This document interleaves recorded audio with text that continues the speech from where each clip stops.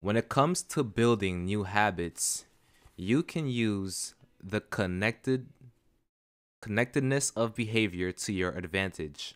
One of the best ways to build a new habit is to identify a current habit you already do each day and stack your new behavior on top.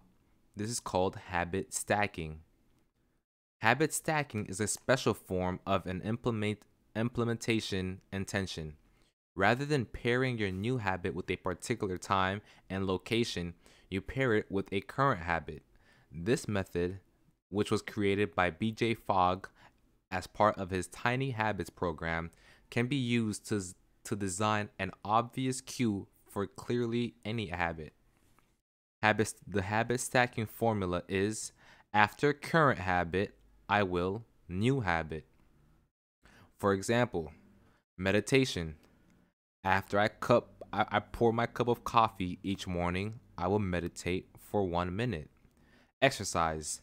After I take off my work shoes, I will immediately change to my workout clothes. Gratitude. After I sit down to dinner, I will say one thing I'm grateful for that happened today. Marriage. After I get into bed at night, I will give my partner a kiss. Mmm. Safety. After I put on my running shoes, I will text a friend or a family member where I am running and how long it will take. The key is to tie your desired behavior into something you already do each day. Once you have mastered this basic structure, you can begin to create larger stacks of chaining small habits together. That's fire. This allows you to take advantage of the natural momentum that comes with one behavior leading into the next. A positive version of the Diderot effect. Your morning routine habit stack might look like this. After I pour my morning cup my morning cup of coffee, I will meditate for 60 seconds. After I meditate for 60 seconds, I will write my to-do list for the day.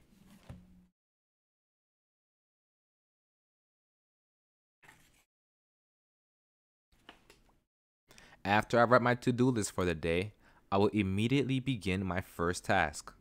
Or consider this habit stack in the evening. After I finish eating dinner, I will put my plate directly into the dishwasher.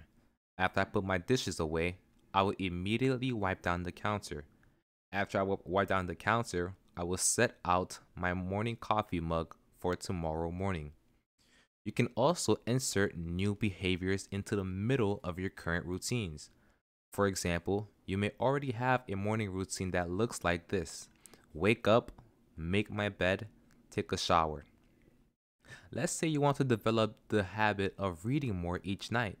You can expand your habit stack and try something else. Wake up, make my bed, take place a book on my pillow, take a shower. Now, when you climb onto bed each night, a book will be sitting there waiting for you to enjoy. Overall, habit stacking allows you to create a set of simple rules that guide your future behavior. It's like you always have a game plan for which action should come next. Yeah. Once you get comfortable with this approach, you can develop general habit stacks to guide you whenever the, situa- the situation is appropriate. Exercise. When I see a set of stairs, I will take them instead of using the elevator. Social st- skills. When I walk into a party, I will introduce myself to someone I don't know yet. Finances. When I want to buy something over $100, I will wait 24 hours before purchasing. Healthy eating. When I serve myself a meal, I will always put veggies on my plate first. Minimalism. When I buy a new item, I will give something away. One in, one out. Mood. When the phone rings, I will take one deep breath and smile before answering. Wow. Forgetfulness. When I leave a public place, I will check the table and the chairs to make sure I don't leave anything behind. No matter how you use the strategy, the secret to creating a successful habit stack is selecting the right cue to kick things off. Unlike an implementation intention, which specifically states the time and location for a given behavior, habit stacking implicitly has the time and location built into it. When and where you choose to insert a, ha- a habit into your daily routine can make a big difference. If you're trying to add meditation into your morning routine, but mornings are chaotic and your kids keep running into the room, then that may be the wrong place and time. Consider when you are most likely to be successful. Don't ask yourself to do habits when you're likely to be occupied with something else. To do a habit. Your cues should also have the same frequency as your de- desired habit. If you want to do a habit every day, but you stack it on top of a habit that only happens on Mondays, that's not a good choice. One way to find the right trigger for your habit stack is by brainstorming a list of your current habits. You can use your habit scoreboard from the first chapter as a starting point. Alternatively, you can create a list with two columns. In the first column, write down the habits you do each day without fail. For example, get out of bed, take a shower, brush your teeth, get dressed, brew a cup of coffee, eat breakfast, take the kids to school, start the workday, eat lunch, end the workday, change out of work clothes, sit down for dinner, turn off the lights, get into bed. Your list can be much longer, but you get the idea. In the second column, write down all of the things that happen to you each day without fail. For example, the sun rises, you get a text message. The song you're listening to ends, the sun sets. Armed with the, these two lists, you can begin searching for the best place to layer your new habit into your lifestyle. Habit stacking works best when the cue is highly specific and immediately actionable. Many people select cues that are too vague. I made this mistake myself. When I wanted to start a push up habit, my habit stack was when I take a break up for lunch, I will do 10 push ups. At first glance, this sounded reasonable, but soon I realized the trigger was unclear. Would I do my push ups after I ate lunch? but would I do my push ups before I ate lunch? After I ate lunch? Where would I do them? After a few inconsistent days, I changed my habit stack to when I close my laptop for lunch, I will do 10 push ups next to my desk. Ambiguity gone. Habits like read more or eat better are worthy causes but these goals do not provide instruction on how and when to act.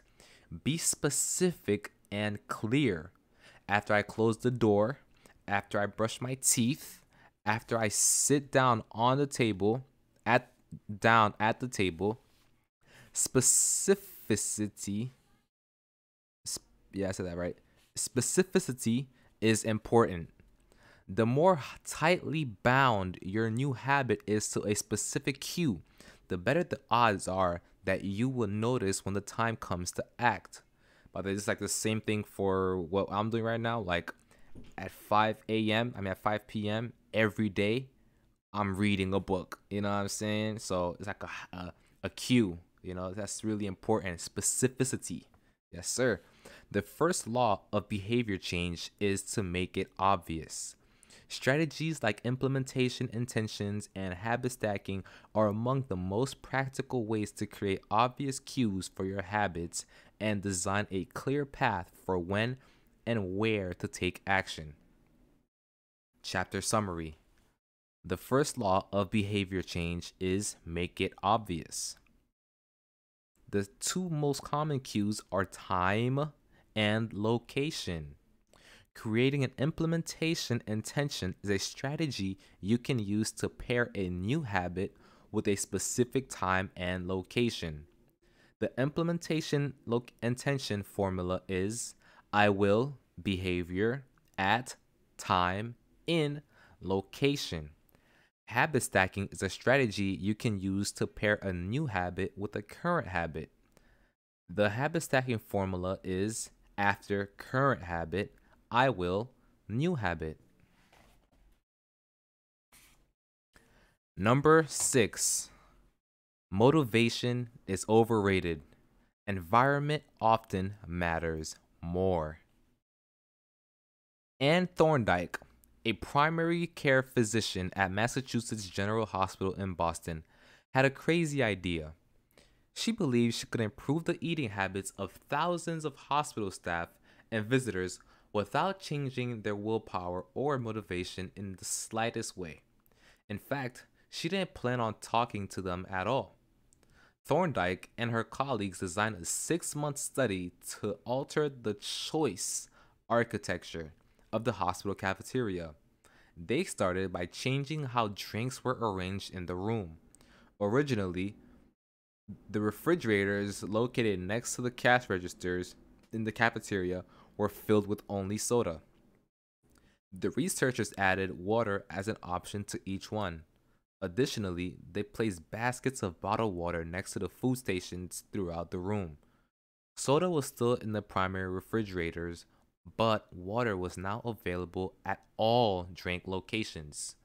Over the next three months, the number of soda sales at the hospital drop, dropped by 11.4%. Meanwhile, sales of bottled water increased by 25.8%. They made similar adjustments and saw similar results.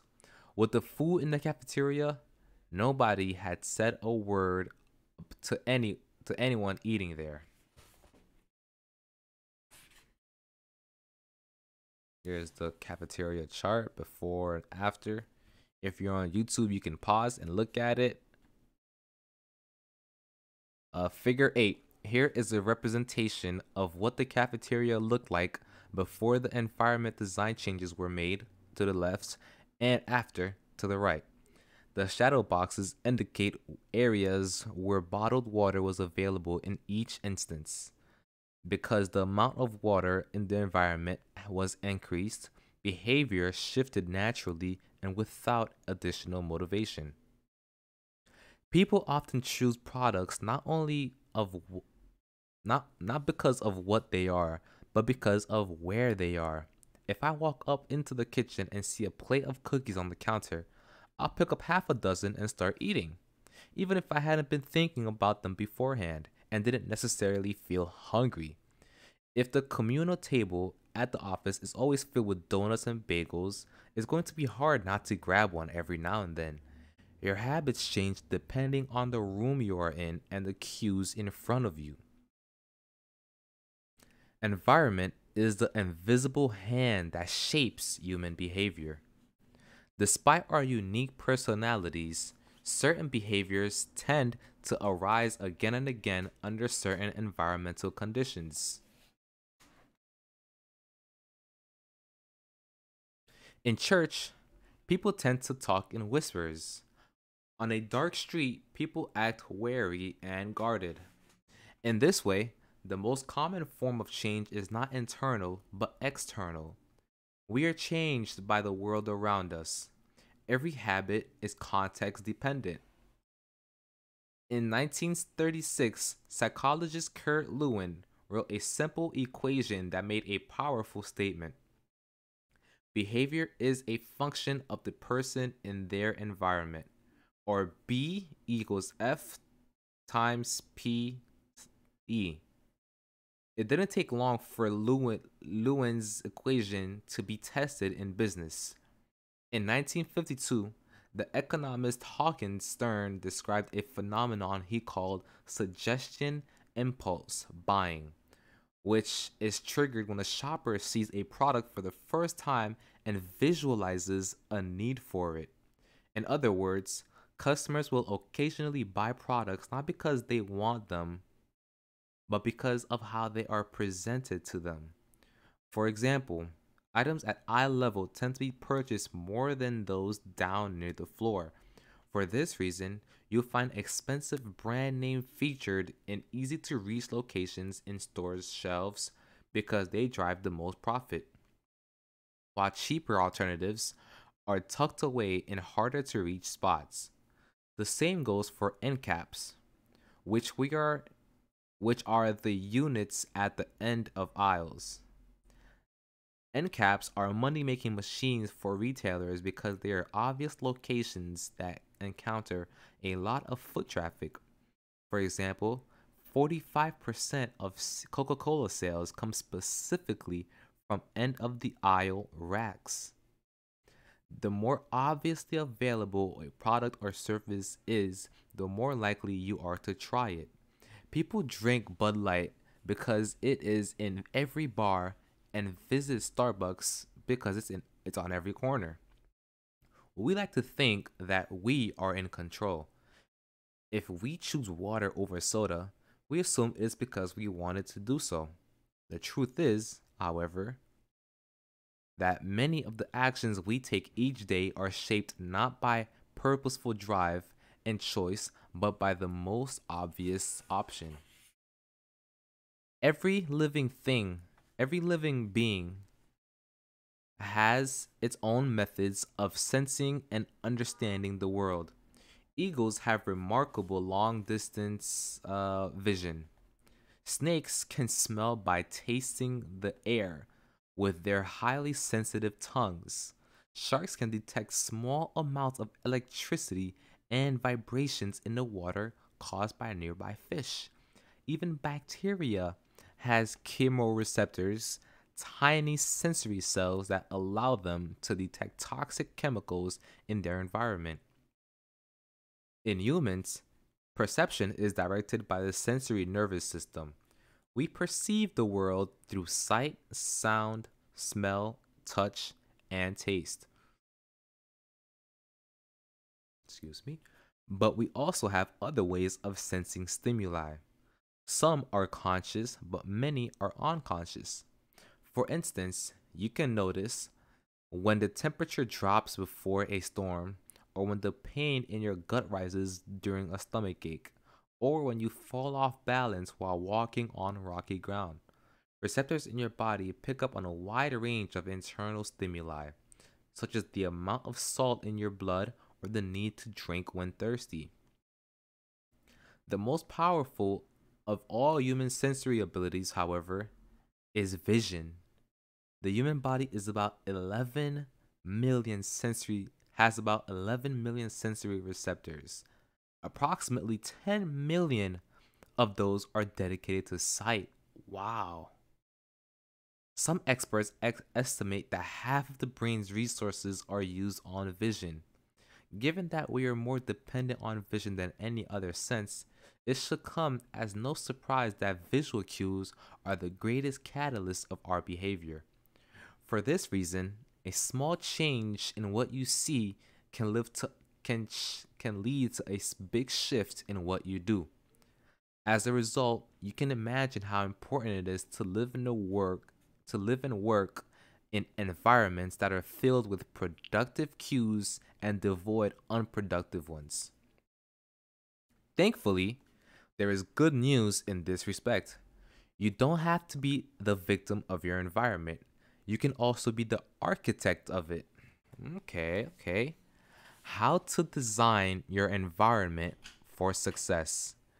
During the energy crisis and oil embargo of the 1970s, Dutch researchers began to pay close attention to the country's energy usage. In one suburb near Amsterdam, they found that some homeowners use 30% less energy than their neighbors. Despite the homes being of similar size and getting electricity for the same price, it turned out the houses in this neighborhood were nearly identical except for one feature the location of the electrical meter. Some had one in the basement, others had the electrical meter upstairs in the main hallway. As you may guess, the homes with the meters located in the main hallway used less electricity when their energy use was obvious and easy to track, people changed their behavior. Every habit is in initiated by a cue, and we are more likely to notice cues that stand out. Unfortunately, The environments where we live and work often make it easy not to do certain actions because there is no obvious cue to trigger the behavior. It's not easy to practice the guide the to practice the guitar when it's tucked away in the closet.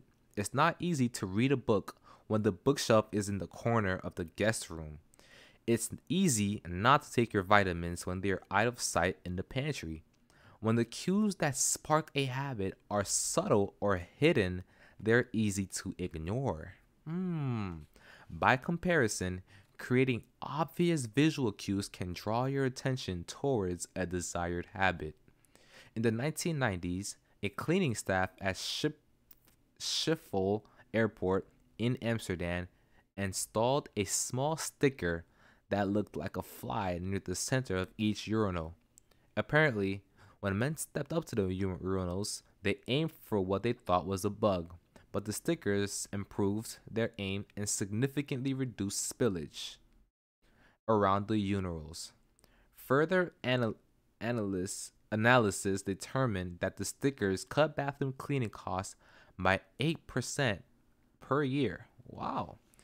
I've experienced the power of obvious cues in my own life.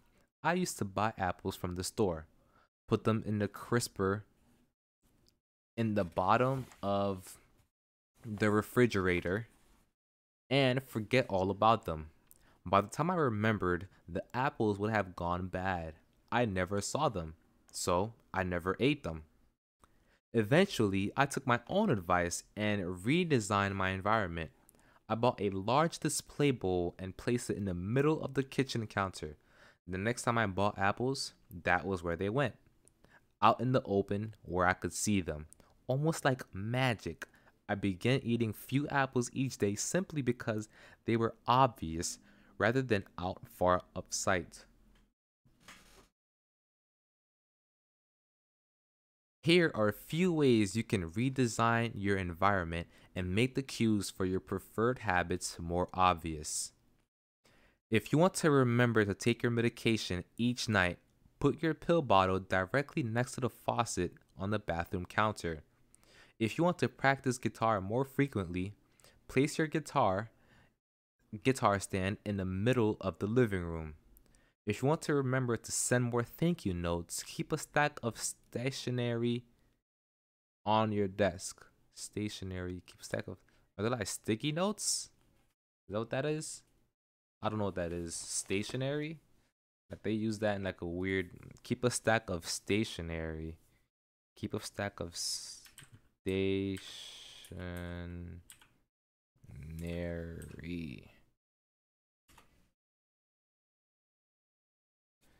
Writing paper, writing materials that's pens, pencil, paper, and So yeah, like kind of sticky notes, I guess. All right. Keep a stack of stationery on your desk. If you want to drink more water, fill up a few water bottles each morning and place them in common locations found in the house. If you want to make a habit a big part of your life, make the cue a big part of your environment. The most persistent behaviors usually have multiple cues. Consider how many different ways a smoker could be prompted to pull out a cigarette, driving a car, seeing a friend smoke, feeling stressed at work, and so on. The same strategy can be employed for good habits. By sprinkling triggers throughout your surroundings, you increase the odds that you'll think about your habits throughout the day. Make sure that the best choice is the most obvious one. Making a better decision is easy and natural when the cues for good habits are right in front of you.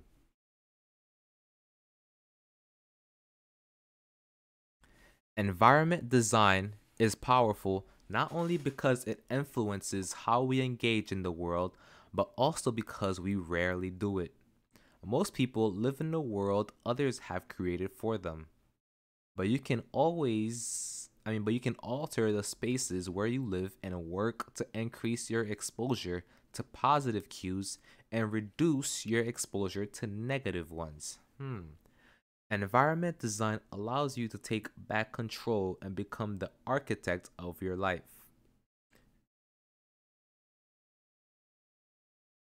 Be the designer of your world and not merely the consumer of it. The context is the cue. The cues that trigger a habit can start out very specific, but over time, your habits become associated not with a single trigger, but with the entire context behave, be, be surrounding the behavior. For example, many people drink more in social situations than they would ever drink alone. The trigger is rarely a single cue, but rather the whole situation. Watching your friends order drinks, hearing the music at the bar, seeing the beers on tap. We mentally assign our habits to the locations in which they occur the home, the office, the gym. Each location develops a connection to certain habits and routines. You establish a particular relationship with the objects on your desk, your items on your kitchen counter, the things in your bedroom. Our behavior is not defined by the objects in the environment, but by our relationship to them. In fact, this is a useful way to think about the influence that the environment of the environment on your behavior. Stop thinking about your environment as filled with objects. Start thinking about it as filled with relationships. Think in terms of how you interact with the spaces around you. For one person, her couch is the place where she reads for an hour each night. For someone else, the couch is where he watches television and eats a bowl of ice cream after work. Each people can have different memories and thus different habits associated with the same place. The good news, you can train yourself to link a particular habit with a particular context.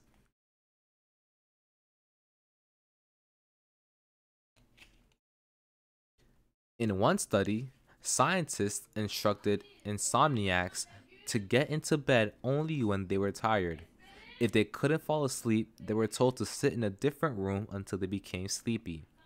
Over time, subjects began to associate the context of their bed with the action of sleeping and it became easier to quickly fall asleep when they climbed in bed. Their brains learned that sleeping, not browsing on their phones, not watching television, not staring at the clock was was the only action that happened in that room. Wow. The power of context also reveals an important strategy. Habits can be easier to change in a new environment. It helps to create a subtle the subtle triggers and cues that nudge you towards your current habits. Go to a new place, a different coffee shop, a bench in the park, a corner of your room you seldom use, and create a new routine there. It is easier to associate new habits with new contexts than to build a new habit in the face of competing cues. It can be difficult to go to bed early if you watch television in your bedroom each night. It can be hard to study in the living room without getting distracted if that's where you always play video games. But when you step outside your normal environment, you leave your behavioral biases behind. Huh? You aren't battling old environmental cues, which allows new habits to form without interruption. Huh, whoa. I'm my brain, whoa. Want to think more creatively? Move to a bigger room, a rooftop patio, or a building with expansive art art architecture. Architecture. Jesus. Take a break from the space where you do your daily work, which is also linked to your current thought patterns. Trying to eat healthier it is likely that you shop on autopilot at your regular supermarket. Try a new grocery store. Huh, you may find it easier to avoid unhealthy food when your brain doesn't automatically know where it is located in the store. When you can't manage to get into an entirely new development, redefine or rearrange your current one. Create a separate space for work, study, exercise, entertainment, and cooking. The mantra I find useful is one space, one use. When I started my career as an entrepreneur, I would often work from my couch or at the kitchen table. In the evenings, I found it very difficult to stop working. There was no clear division between the end of work time and the beginning of personal time. Was the kitchen table my office or the space where I eat meals? Was the couch where I relaxed or where I sent emails?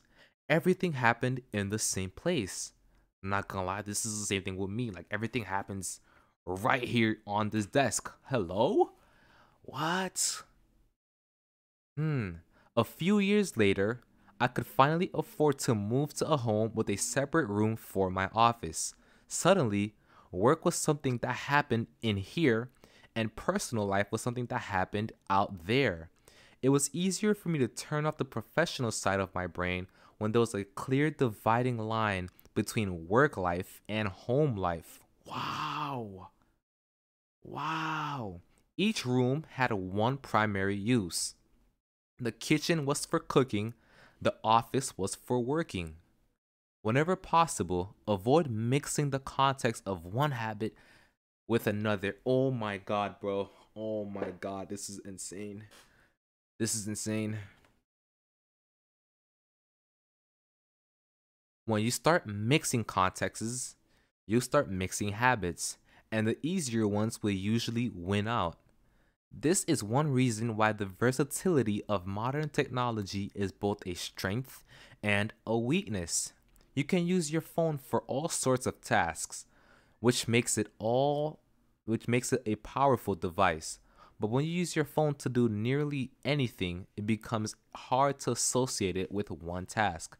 You want to be productive, but you, but you're also conditioned to browse social media, check emails, and play video games whenever you open your phone. It's a mishwash, it's a mishwash of cues. You may be thinking, you don't understand. I live in New York City. My apartment is the size of a smartphone. I need each facts, bro. I need each room to play multiple roles. Now that's facts. Fair enough. If your space is limited, divide your room into activity zones a chair for reading, a desk for writing, a table for eating. You can do the same with your digital spaces. I know a writer who uses his computer only for writing, his tablet only for reading, and his phone only for social media and texting. Every habit should have a home. Wow, man. No, man, this is crazy if you can manage, yo, I'm freaking out. My, my my bad to people to the people on YouTube, bruh. If you can manage to stick with this strategy, each context will become associated with the particular habit and mode of thought. Habit thrives under predictable circumstances like these.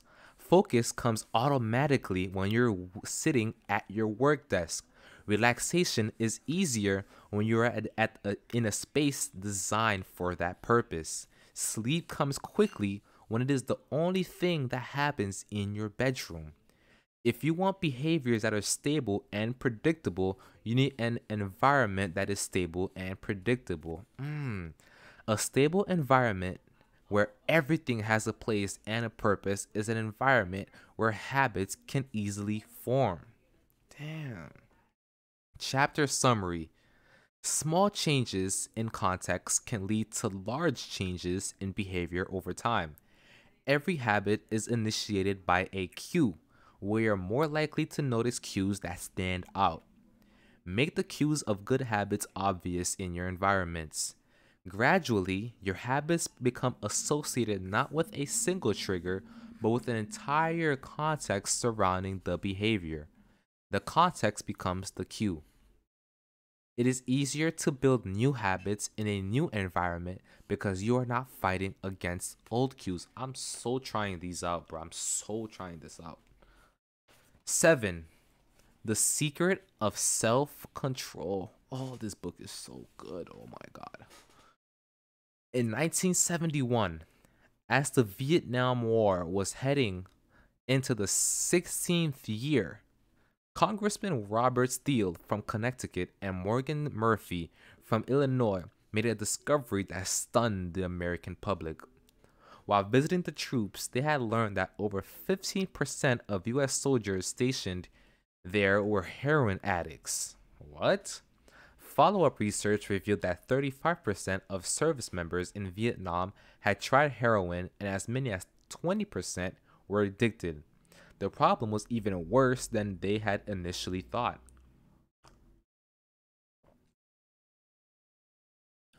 The discovery led to a flurry of activity in Washington, including the creation of the Special Action Office of Drug Abuse Prevention under President Nixon to promote prevention and rehabilitation and to track addicted service members when they return home.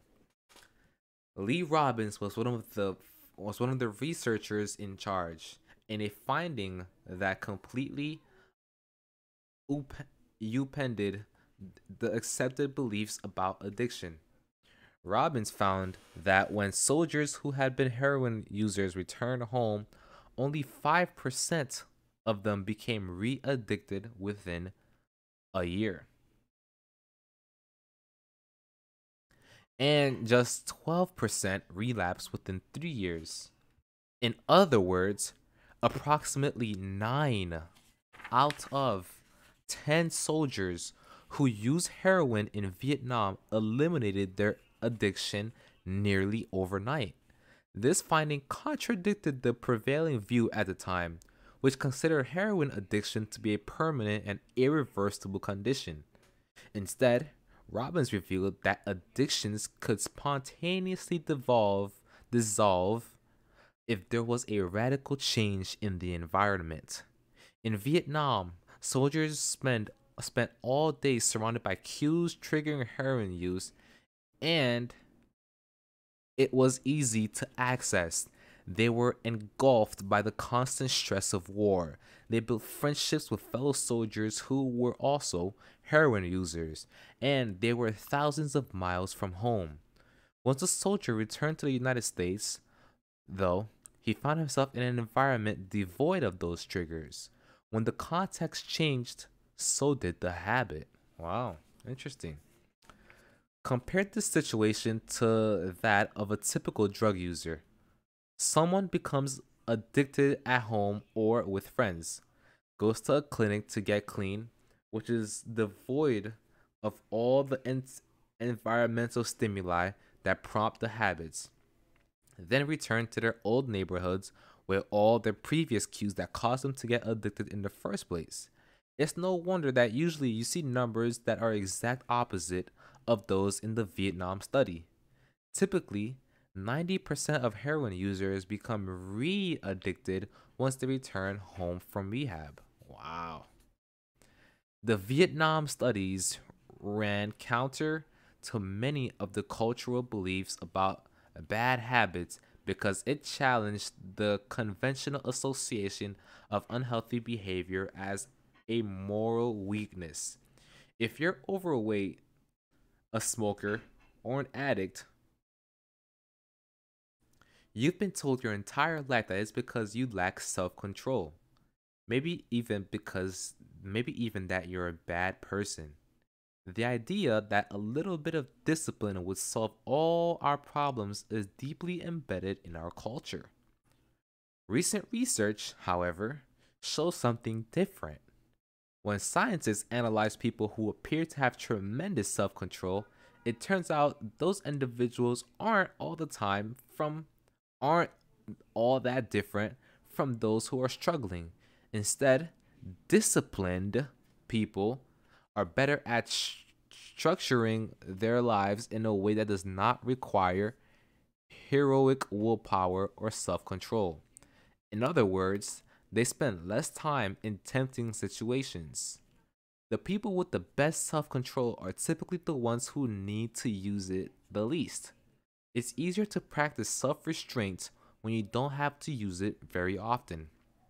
So, yes, perseverance, grit, and willpower are essential to success. But the way to improve those qualities is not by wishing you were a more disciplined person, person, but by creating a more disciplined environment. Hmm. This counterintuitive idea makes even more sense once you understand what happens when a habit is formed in the brain. A habit that has been encoded in the mind is ready to be used whenever the, re- the relevant situation arises. When Patty Olwell, a therapist from Austin, Texas, started smoking, she would often light up her, her riding horses with a friend. Eventually, she quit smoking and avoided it for years. She had also stopped riding. Decades half after, she hopped on a horse, again found herself craving a cigarette for the first time in forever. The cues were still internalized. She just hadn't been exposed to them in a long time. Once a habit has been encoded, the urge to act follows whenever the environment and environmental cues appear. This is one reason behavior change behavior change techniques can backfire.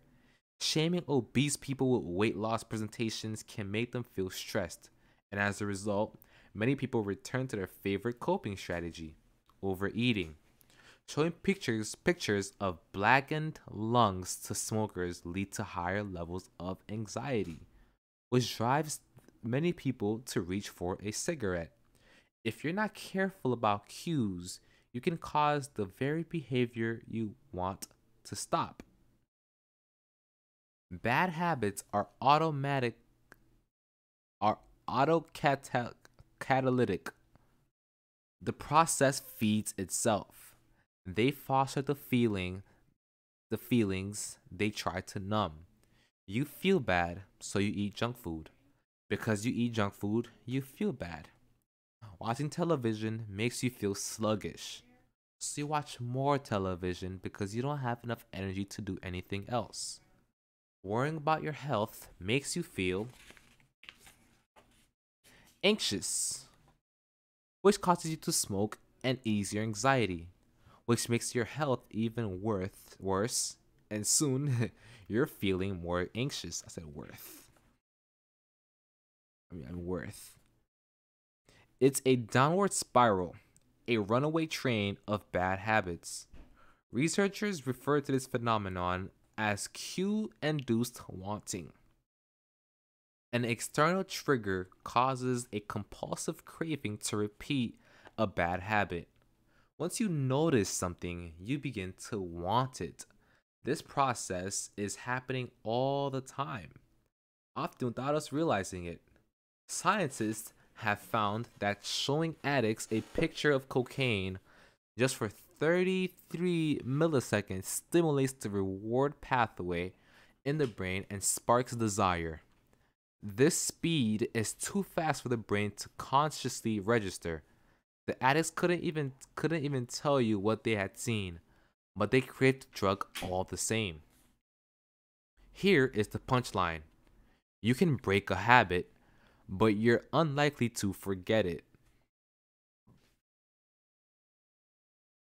Once the mental grooves of habit has been carved into your brain, they are nearly impossible to remove entirely, even if they go unused for quite a while.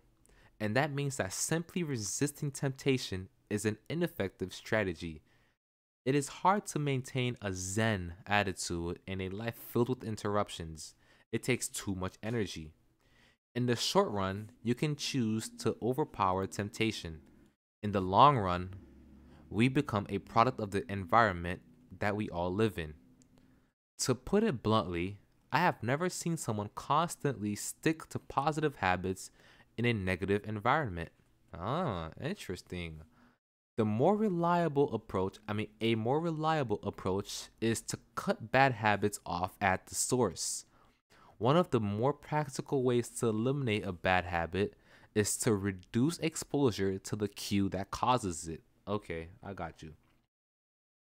If you can't seem to get any work done, leave your phone in another room for a few hours. If you're continually feeling like you're not enough, Stop following social media accounts that trigger jealousy and envy. Hmm. If you're wasting too much time watching television, Move the TV out of the bedroom. If you're spending too much money on electronics, quit reading reviews about the latest tech gear. If you're playing too many video games, unplug the console and put it in a closet after use. I'm gonna add one for us PC gamers. If you're playing too many PC video games, uninstall the game. You know what I'm saying?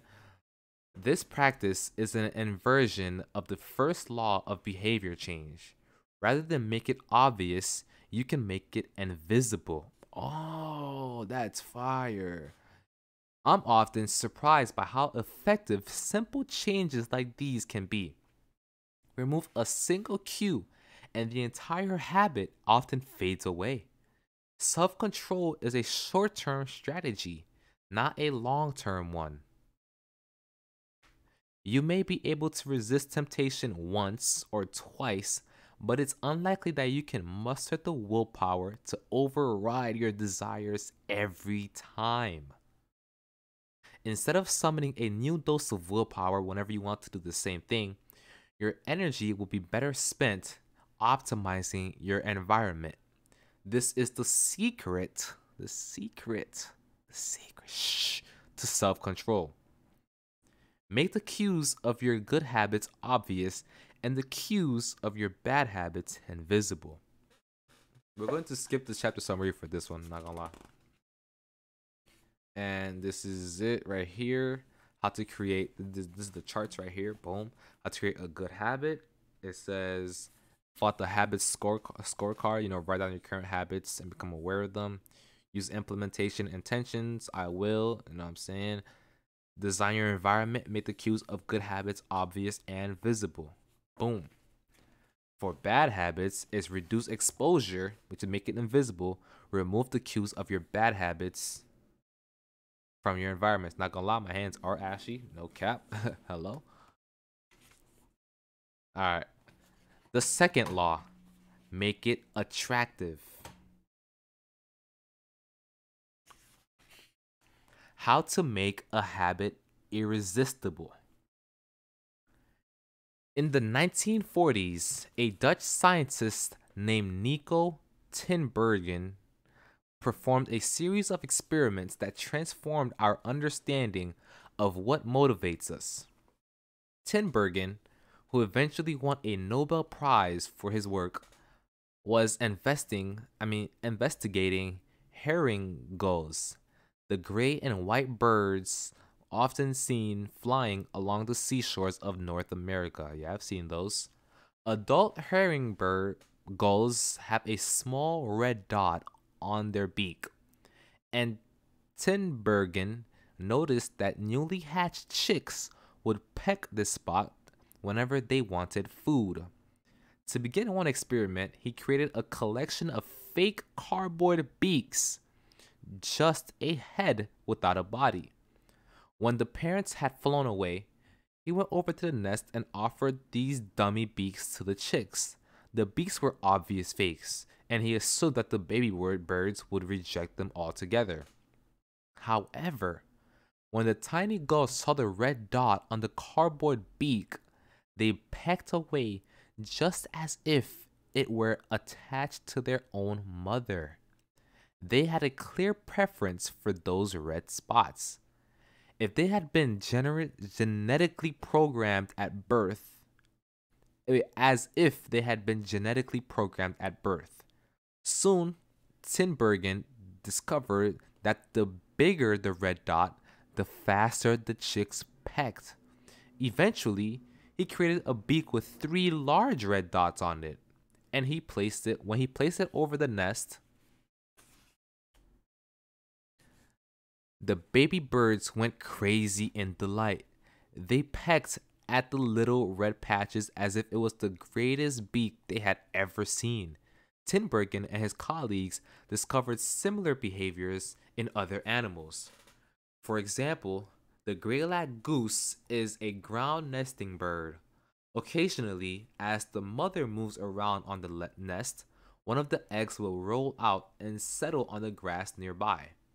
Whenever this happens, the goose will waddle over to the egg and use its beak and neck to pull it back into the nest. Tinbergen discovered that the goose will pull any nearby round object, such as a billboard ball or a light bulb, back into the nest.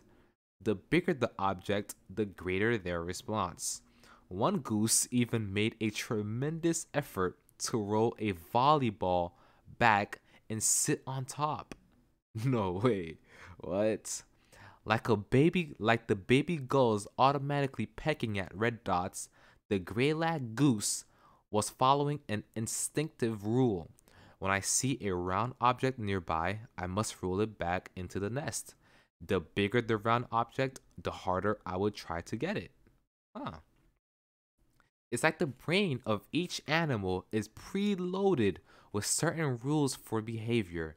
And when it comes across an exaggerated version of that rule, it lights up like a Christmas tree. Scientists refer to these ex- to these exaggerated cues as supernormal stimuli. A supernormal stimulus is a heightened version of reality. Like a beak with the three dots or an egg the size of a volleyball, it elicits a stronger response than usual. Humans are also prone to fall for exaggerated versions of reality.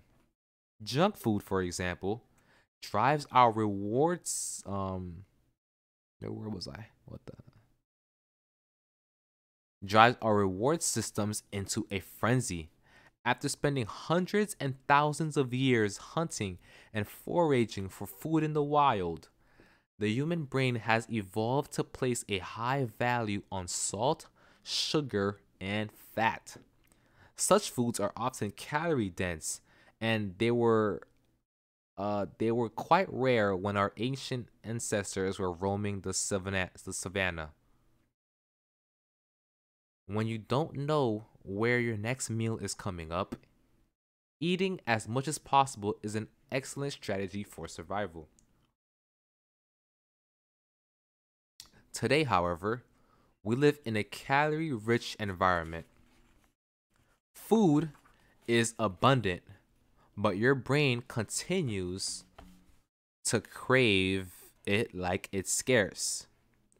Placing a high value on salt, sugar, and fat is no longer advantageous to our health, but the craving persists because the brain's rewards centers have not changed for approximately 50,000 years. The modern food industry relies on stretching our pathy Paleolithic um Paleolithic instincts beyond their evolutionary purpose. A primary goal of food science is to create products that are more attractive to consumers. Nearly every food in a bag, box, or jar has been enhanced in some way, if only with additional flavoring. Comparing Companies spend millions of dollars to discover the most satisfying level of crunch in a potato chip or the perfect amount of fizz in a soda. Entire departments are dedicated to optimizing how a product feels in your mouth. A quality known as oral oral zen oral sensation oral sensation i don't know what that means not gonna lie oral sensation. What is this book about? It's about habits. Oral sensation. Oral sensation. Is that the oral sensation?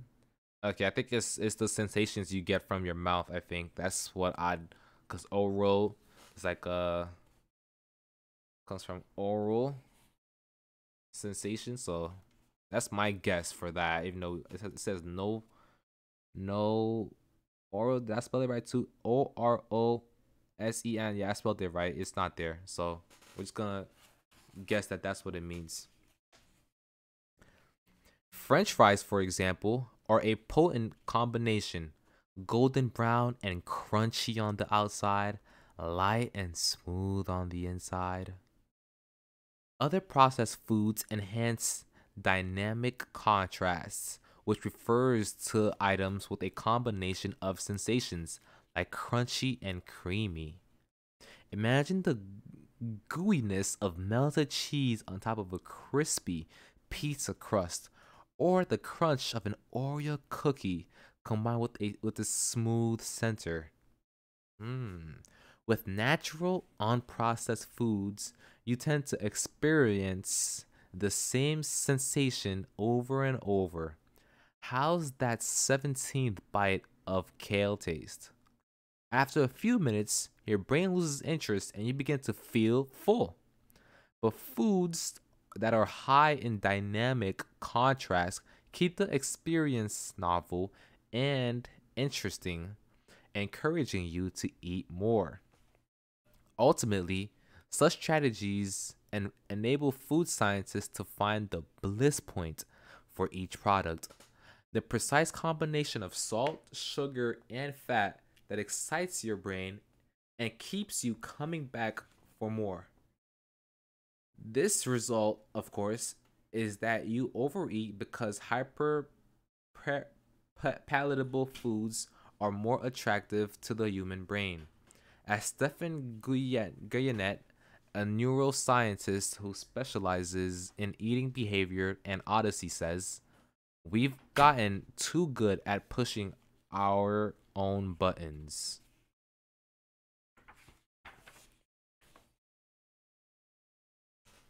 The modern food industry and the overeating habits it has spawned is just one example of the second law of behavior change. Make it attractive.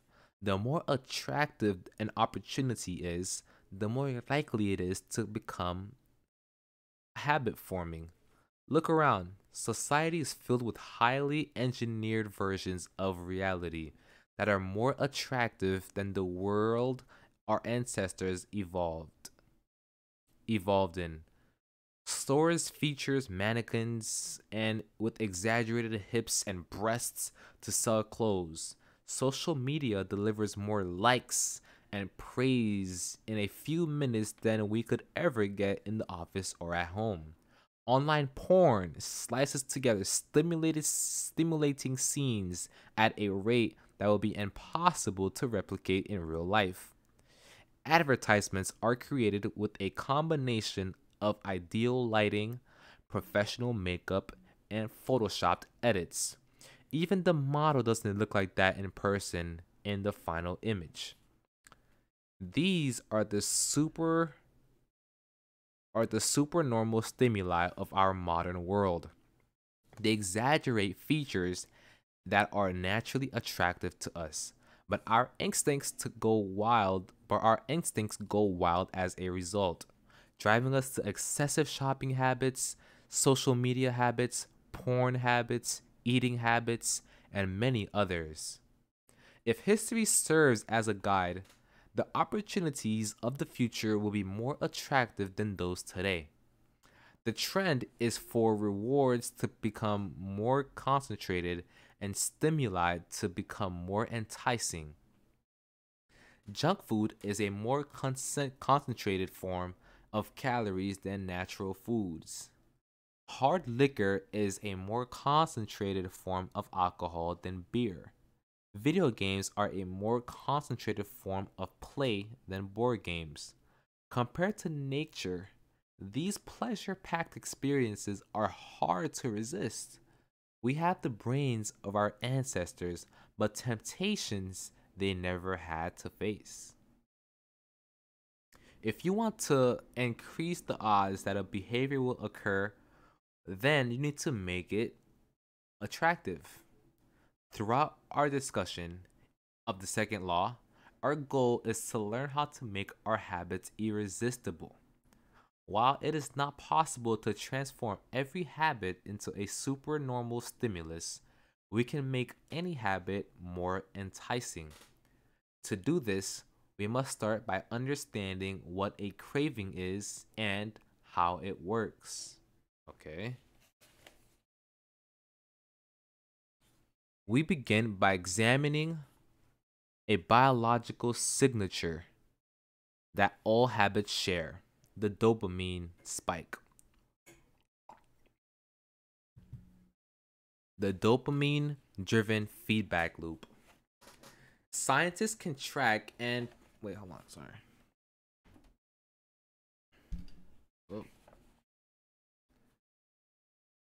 Scientists can track the precise moment a craving occurs by measuring a neurotransmitter called dopamine. The importance of dopamine became apparent in 1954 when the neuroscientists James O. Olds and Peter Milner ran an experiment that revealed the neurological processes processes behind craving and desire. By implanting electrodes in the brains of rats, the researchers blocked the release of both dopamine. To their surprise, the scientists, the lost the, the, the rats lost all the will to live. They wouldn't eat, they wouldn't have sex, they wouldn't crave anything. Within a few days, the animals died of thirst. Wow. In follow up studies, other scientists also inhibited the dopamine releasing parts of inhibited the dopamine releasing parts of the brain. But this time, they squirted little droplets of sugar into the mouths of the dopamine depleted rats. Their little rats' faces lit up with pleasurable grins from the tasty substances. Even though dopamine was blocked, they liked the sugar just as much as before. They just didn't want it anymore. The ability to experience pleasure remained, but without dopamine, desire is dead. Wow, bro. And without desire, action stopped. When other researchers re- reversed this process and flooded the reward system of the brain with dopamine, animals performed habits at breakneck speed. In one study, mice received a powerful a powerful hit of dopamine each time they poke their nose in a box. Within minutes, mice developed a craving so strong they began craving they began poking their nose into the box 800 times per hour. Humans are not so different. The average machine, uh, the average slot machine player will spin the wheels 600% per hour. Habits are a dopamine driven feedback loop. Every behavior that that that is highly habit forming, taking drugs, eating junk food, playing video games, browsing social media is associated with higher levels of dopamine. The same can be said for our most basic habitual um, behavior.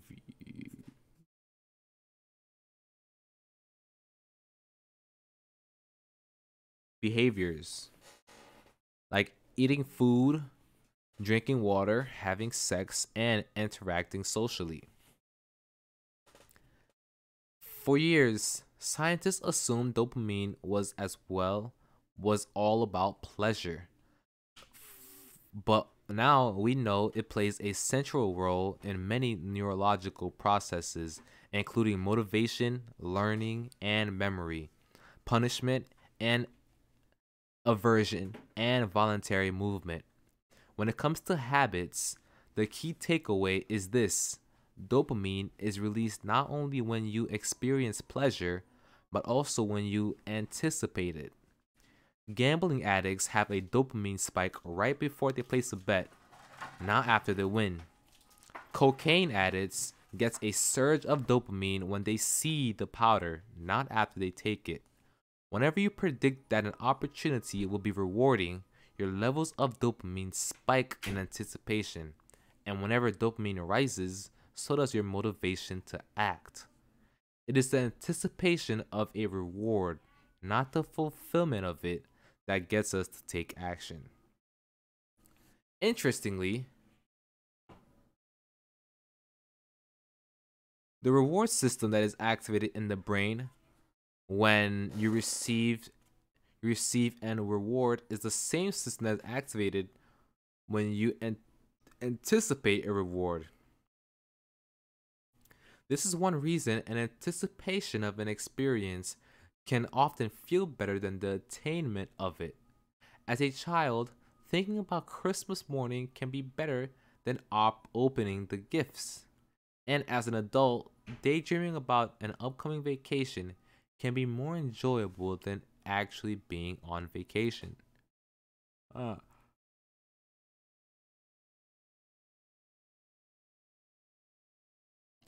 Scientists refer to this as the difference between wanting and liking. Here's the dopamine chart. I'm just gonna pause this here for YouTubers, for the YouTube people. I'm gonna skip this too. Figure nine. I'm gonna skip that. Not gonna lie. All right.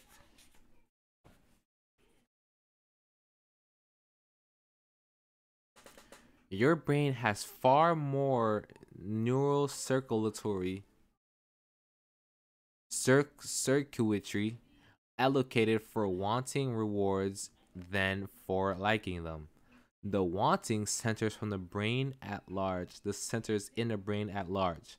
The brainstem, the nucleus accumbens, and ventral tegmental area.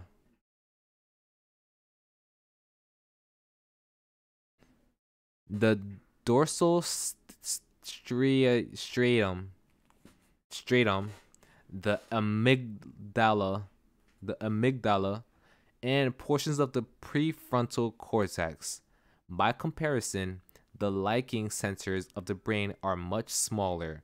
They are often referred to as hedonic hotspots and are distributed like tiny islands throughout the brain.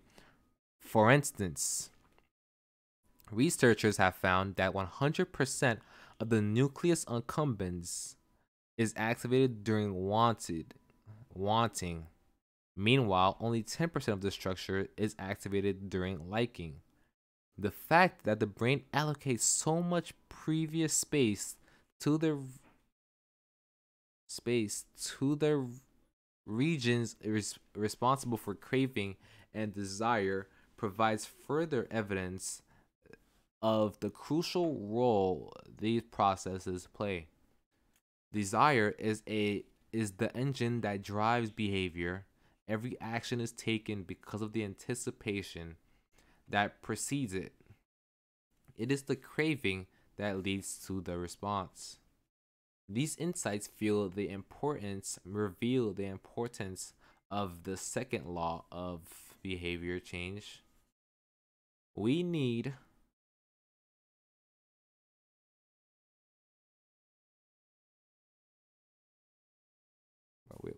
lost my spot just now. Mm. We need to make our habits attractive because it has the expectation of a rewarding experience that motivates us to act in the first place. This is where a strategy known as temptation bundling comes into play. Temp- temptation bundling. How to use temptation bundling to make your habits more attractable, attractive. Ronan Byrne, an electrical engineer student in Dublin, Ireland, enjoyed watching Netflix, but he also knew that he should exercise more often than he did. Putting his engineering skills to use, Byrne hacked his stationary bike and connected it to his laptop and television. Then he wrote a computer program that would allow Netflix to run only if the cycling only if he was circling uh, at cycling at a certain speed. If he slowed down for too long, whatever show he was watching would pause until he started pedaling again. In other words, in the word of one fan, eliminating obesity one Netflix binge at a time. Mm. He was also em- employing uh, temptation bundling to make his exercise habit more attractive. Temptation bundling works if flanking an action you do you do with an action you need to do. In Byrne's case, he he bundled watching Netflix, the thing he wanted to do, with riding his stationary bike, the thing he needed to do.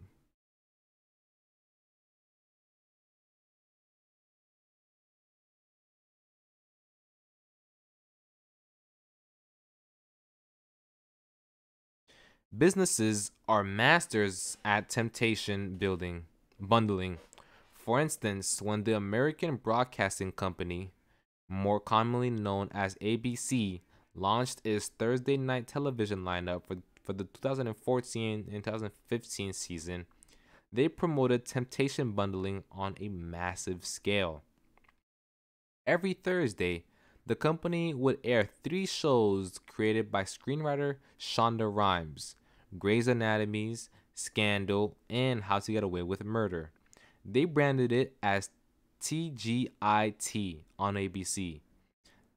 TGIT stands for Thank God It's Thursday. In addition to promoting the shows, ABC encouraged viewers to make popcorn, drink red wine, and enjoy the evening. Andrew Kubitz, head of scheduling for ABC, Describe the idea behind the campaign. We see Thursday night as a viewership opportunity with either couples or women by themselves who want to sit down and escape and have fun and drink in red wine rather than have some uh, red wine and ha- red wine and have some popcorn the brilliance of this strategy is that ABC was associating the things they needed viewers to do, which is watch their shows, with activities the viewers already wanted to do relax, drink wine, eat popcorn. Over time, Pekin began people people began to connect watching ABCs with feeling relaxed and entertained. If you think red wine and eat popcorn at 8 p.m. every Thursday and then eventually 8 p.m. on Thursday means relaxation and entertainment. But rewards get associated with the cue and your habits.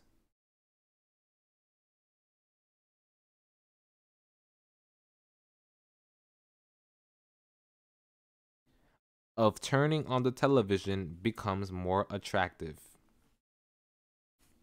You're more likely to find a behavior attractive if you get to do one of your favorite things at the same time. Perhaps you want to hear about the latest celebrity gossip, but you need to get in shape. Using temptation bundling, you could only read the tabloids and watch and watch reality shows at the gym. Maybe you want to get a pedicure, but you need to clean out your email box. Solution only get a pedicure while processing overdue work emails. Temptation building is one way to apply a psychology theory known as Premack's principle. Named after the work of Professor David Premack,